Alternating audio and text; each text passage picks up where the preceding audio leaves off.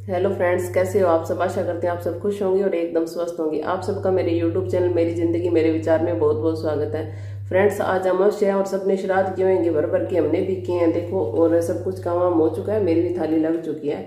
तो जब हम कौन को खाना खिलाने के लिए ऊपर गए ना तो एक बात दिमाग में आई कि सारे जने वेट कर रहे हैं कि जब तक कोई खाना नहीं खाएँगे, तब तक कोई काम नहीं होगा। और इसी वजह से आज मैं लेट होगी, क्योंकि इसका टिफ़िन तैयार नहीं हुआ। पहले कौन को खिलाना है, उसके बाद गायों को खिलाना है, उसके बाद पंडित जी खाएँगे और उसके बाद ही घर में कोई खाएगा। तो चलो, वो तो अच्छी बात है कि हम करते हैं। हमारे बुज़ुर्गों ने जो चीज़ शुरू कर दी, उसको मानते आ रहे हैं, करते जा रहे हैं और हमने बनाना होता है, हमने खाना होता है। अगर थोड़े से काम करने से हमें खुशी मिलती है, घर में सबको खुशी मिलती है तो वो काम कर लेना चाहिए।